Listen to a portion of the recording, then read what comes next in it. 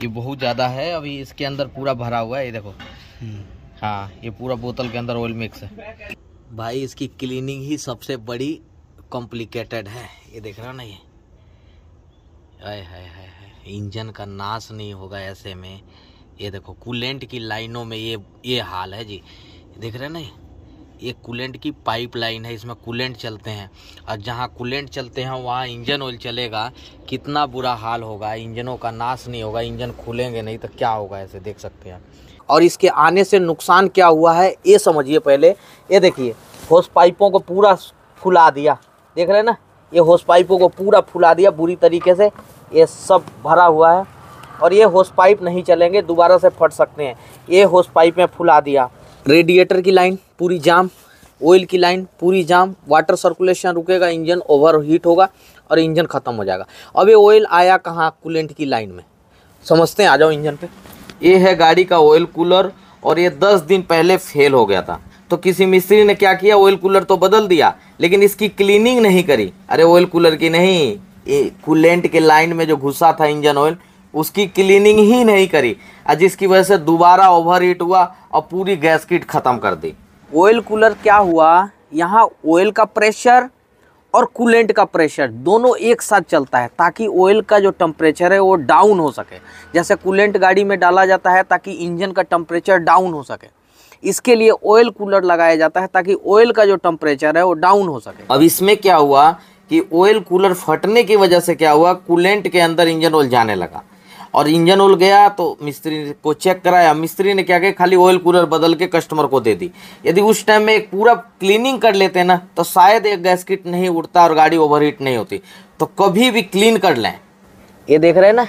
ये ऑयल की ऑयल की ऑयल कितना बुरा घुसा हुआ है। ये हीटर वाला अंदर है। अंदर में हीटर लगा हुआ है हीटर कोयल तो कूलेंट चलता है इसमें। और कूलेंट में ऑयल कितनी बुरी तरीके से तो ये गाड़ी को ओवर हीटिंग करेगा। कूलेंट की लाइन में ऑयल घुस गया और ऑयल फिर पास आउट ही नहीं हुआ। क्योंकि कूलेंट सर्कुलेट ही नहीं हुआ और इसका हेड गैसकिट बुरी तरीके से जल गया। ये हेड गैसकिट जल गया, अभी तक भी गनीमत थी, पूरा इंजन सीज होना कभी भी ऐसा ऑयल पानी का दिक्कत आए तो सबसे पहले ऑयल कूलर बदलो, पूरा लाइन क्लियर करो तब कस्टमर को हैंड ओवर करना है। कस्टमर भी जल्दी कर लेते हैं तो क्या करे? यार मिस्त्री क्या करेगा? को, कोई कुछ भी कुछ नहीं कर सकता।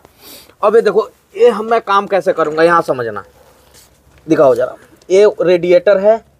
रेडिएटर के अंदर भी ऑयल पूरा भरा हुआ है।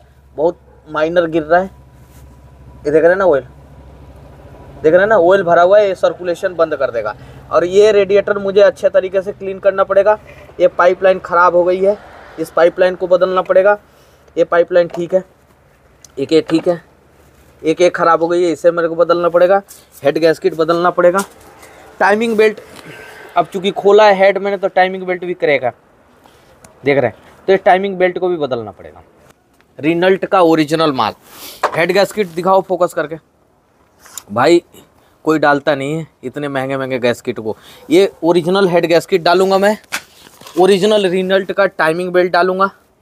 देख रहे हैं ना, ओरिजिनल मंगाई है टाइमिंग बेल्ट भी। इसके अंदर टाइमिंग बेल्ट है दिखा लो ये देखो, ओरिजिनल टाइमिंग बेल्ट देखो, रिनल्ट का। पावर ग्रिप देख रहे हैं ना, रिनल्ट का लोगो हटाओ। ये पाइपलाइन ओरिजिनल ब्रांडेड इधर दिखाओ पास में। रिनल्ट लिखा हुआ पाइपलाइन पे, वो दिखा लो। दिखाओ। ये देखो रिनल्ट लिखा हुआ पाइपलाइन पे, ओरिजिनल पाइपलाइन ये डाल रहा हूँ मैं। एक और पाइप खराब हो गई है, ये भी रिनल्ट लिखा हुआ ओरिजिनल दिखाओ। तो जेनवन ये पाइपलाइन डालूँगा। यहाँ से फेस चेक कर लिया, बिल्कुल यहाँ से हेड का ब्लॉक का फेस ज़ीरो ज़ीरो है। तो मैं पूरी क्लीनिंग कर लिया। ये देख सकते हैं, क्लीनिंग कर लिया। ये लाइन को पेट्रोल से मैं क्लीन करूँगा इसको। इस वाली लाइन को मैं पेट्रोल से क्लीन करूँगा, रेडिएटर को पेट्रोल से क्लीन करूँगा। ये हेड है, हेड का माइनर फेसिंग करा दिया, वाल गाइड सीट सील न्यू डलवा दी, ताकि अब पिकअप में भी एकदम मज़ा आ जाएगा पिकअप भी बिल्कुल ज़ीरो ज़ीरो अब माइनर फेस कराया है मैंने एमरी फेस कटाई नहीं कर कराया। कटाई कराया होता तो काला काला चला जाता, लेकिन मैंने कटाई नहीं कराया। कटाई कराने से पिकअप खत्म हो जाएगा। तो मैंने एमरी फेस करवाया, और एमरी फेस से पिकअप में मज़ा आ जाएगा। हालाँकि मैंने एक, दो और भी हेड कराए हैं अभी, मैं इंजन कर रहा हूँ लगातार। अब ये चीज़ें मैंने फेस करा दी वाल डलवा दिया ओरिजिनल पार्ट डालूँगा गाड़ी मज़ा गाड़ देनी। ठीक है? तो ये स्टेप है कभी भी ऑयल कूलर ऑयल पानी मिक्स हो तो इस तरीके से गाड़ी को किया जाता है। जैसे मैं गाड़ी को कर रहा हूँ। ये सही प्रोसेस है। भाई इसके पूरा पाइपलाइन क्लीन कर लिए अच्छे तरीके से और इसके इजियार भी क्लीन कर लिए। अच्छी तरीके बहुत ज़्यादा जाम थे ना इसके इजियार जी बहुत ज़्यादा जाम था अभी हेड वेड कस दिए टाइमिंग टूमिंग इधर से लगा दिए एडजस्टर खराब है, इसके इंजेक्टर निकालने में खराब हो गए हैं। अभी उसको बस क्लीन किया जा रहा है पेट्रोल के थ्रू और नया पेट्रोल देख रहे ना? वो पेट्रोल के थ्रू ऐसे पाइपलाइन से, देख रहे हैं ना ये पाइपलाइन तो ऐसे डाल के उसे बोतल में गिरेगा। भाई, अब काला काला जो है ना, कटना शुरू हुआ है। देख रहे हो ना? इधर से पेट्रोल डाल रहे हैं इस पाइपलाइन से। इससे पेट्रोल डाल रहे हैं और दूसरे से निकल रहा है क्योंकि ये सफ़ाई होना ज़रूरी है वरना दोबारा इंजन को जो है ना नाश कर देगा ये। अभी तो आधा ही इंजन सीज हुआ है पूरा भी हो सकता है। अब पाइप को चेंज करी है। वाह जी वाह चलो चलो चलो चलो चलो मार दो दबा के। अच्छा ये वाला बॉडी शॉट है ठीक है। अच्छा ये बॉडी डाल दिया आपने और इंजेक्टर सर्विस हो रही है इंजेक्टरों की। एक इंजेक्ट इंजेक्टर शॉर्ट थे तो ये बॉडी हमने चेंज कराई इंजेक्टर की देख सकते हैं आप। दूसरी इंजेक्टर ले ली इंजेक्टर की सर्विस हो गई पूरी, ये रेल की सर्विस हो गई, पूरी पाइपलाइन की सर्विस हो गई। अब इसे फिट करेंगे। ई जी आर इंटरकूलर ये सब लगा दिए, इधर से टाइमिंग बेल्ट लगा दी। एक एडजस्टर ख़राब था जैन वन निशान का। ओरिजिनल जो कहते हैं ना रिनल्ट का निशान का तो जानते ही हैं। तो ओरिजिनल पार्ट एक बैरिंग मंगाई हमने। जैन वन, ये वाला ख़राब हो गया था। अब इसे लगाएँगे। फिटिंग सारी हो गई। स्टार्ट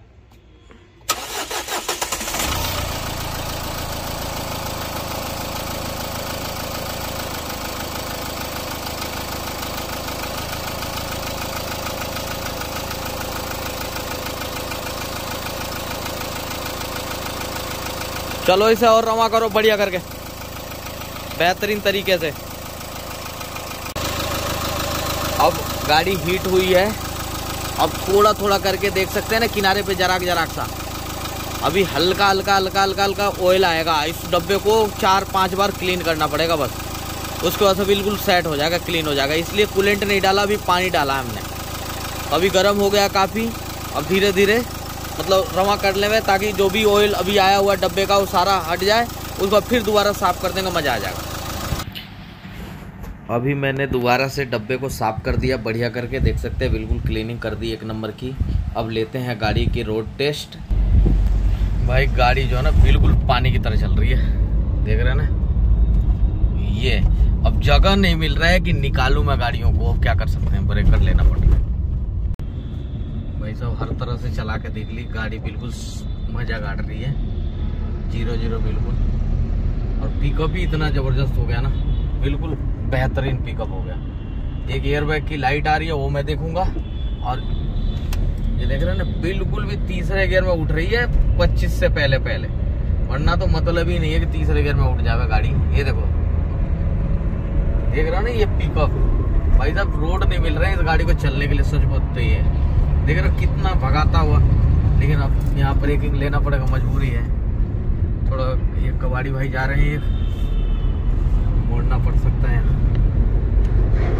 लेकिन गाड़ी गजब की बन गई यार। जैनवन गैस्केट की यही तो बात होती है ना ओरिजिनल गैस्केट डाल दिया गाड़ी के अंदर। भाई, अलग ही स्वैग गाड़ती है। निशान की एक और जा रही है उधर से, लेकिन उसको ओवरटेक ये चढ़ाई देखा हो चढ़ाई। अब बिल्कुल दम तोड़ने को तैयार नहीं है गाड़ी, ये देखो। जगह ना मिल रहा, नहीं तो भाई, निकाल देगी गाड़ी। ये देखो, बिना एक्सीटर के चढ़ के आ गई। एक्सीटर में पैर नहीं है मेरे, बिल्कुल हटा हुआ है पैर। फिर भी चढ़ाई लेके चलती चली जा रही है। बाकी बढ़िया चल रही है गाड़ी और चेक चेक करेंगे अभी थोड़ी देर